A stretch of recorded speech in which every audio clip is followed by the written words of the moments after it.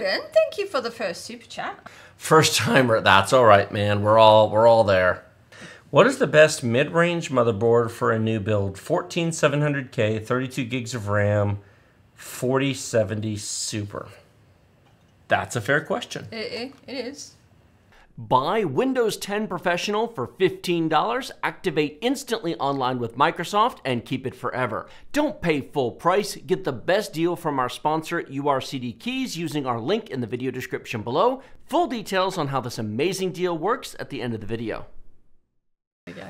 What would I buy right now if I was building what he suggested? A suggested? 14700K. Just, I'm going to walk through my thought process here. Skip these cheap boards. $169 for a Z790. At this point, I wouldn't get a Z690, not for 14th gen. Get a, get a Z790. Um, I wouldn't buy these. They're a little bit too cheap for that. You're getting a nice motherboard, a nice CPU. $400 CPU deserves a better board than these. Um, these aren't terrible, but I would personally still go up one more notch. You know, a lot of people are going to say the question, why? What do you see there that a less experienced eye doesn't see? I am looking at I am looking at the overall component density of the board. Yep. How many things they put on it, how many M.2 slots, how many M.2 heat shields. Like, do you notice how this board right here is missing it's missing Click on the mother actual. One, two, three, four. It has four M.2 slots. That's nice. But there's no heat shield covers here. No. DDR uh, Gen 4 drives Need- will have to have heat Need, sinks. need a heat sink. They will overheat on Yep. there. Uh-huh. Whereas here, You've got come on, there we go. you've got heat heat sinks. Does that have four M.2 slots? One. Is that missing something? What does it say?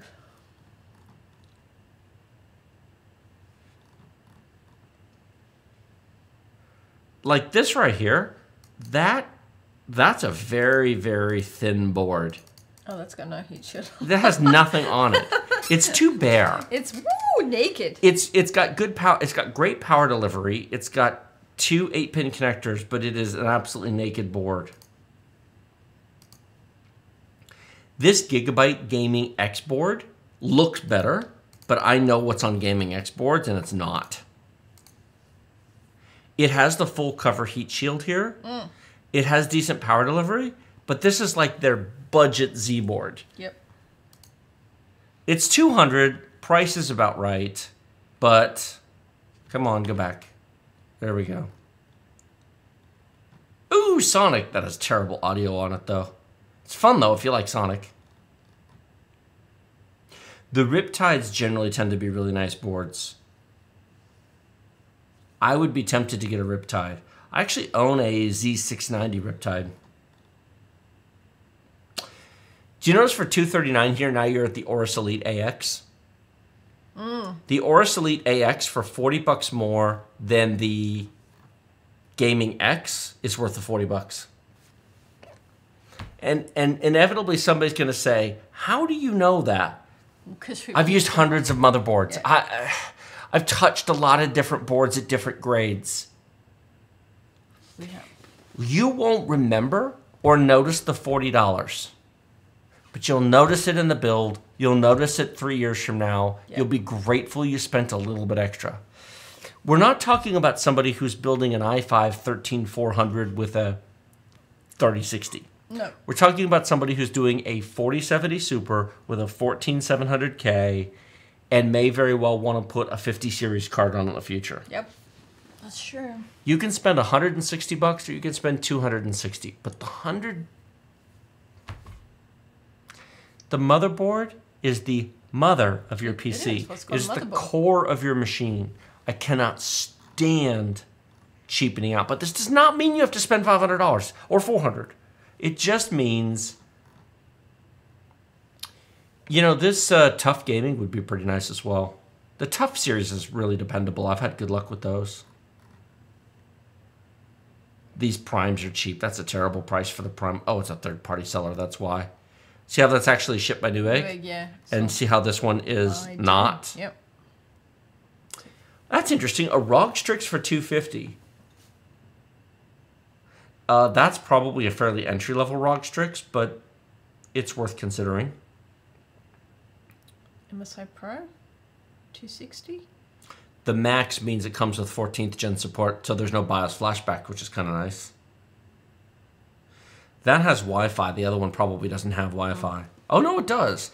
Z790 plus uh, Asus TUF Gaming for 229 versus Asus TUF Gaming. Oh, it's the Dash Pro board. Interesting. I do not know what the difference between the Plus and the Pro is.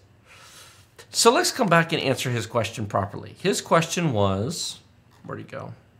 Just for believing you there.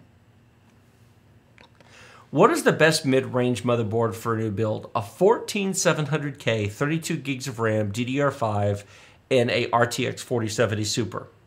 And my answer is something between about 230 and 260 dollars. The 200 boards are okay, but I don't think you need to save 40 bucks that bad. Absolutely skip the $170 stuff there, stripped to the bone. Mm-hmm. You don't need to spend 350. It's really Even 300. Nah, you really don't. I would be somewhere in that 250 range if I were building that today, based upon the depth and breadth of experience of touching motherboards. Mm-hmm. Does that make sense? Looking for a Windows 10 or 11 product key, but you don't want to spend 100 to $200 for it? Our sponsor, URCD Keys, provides discounted Windows keys at amazing prices. $15 for Windows 10 Professional, $21 for Windows 11 Professional, and just $60 for Microsoft Office 2021 Professional Plus. These product keys are the real deal. They activate directly with Microsoft Online, link to your Microsoft account, and they work forever. For Windows, you simply go to Settings, Update and Security, Activation, click Change Product Key, paste the key provided by URCD Keys, and in seconds you're activated with Microsoft. For Office, go to setup.office.com, sign in with your Microsoft account, paste the product key provided by URCD Keys, and then download Office 2021 Pro Plus directly from Microsoft. Remember to use the discount code TD20 to save 25% off the already deeply discounted prices and support our channel at the same time.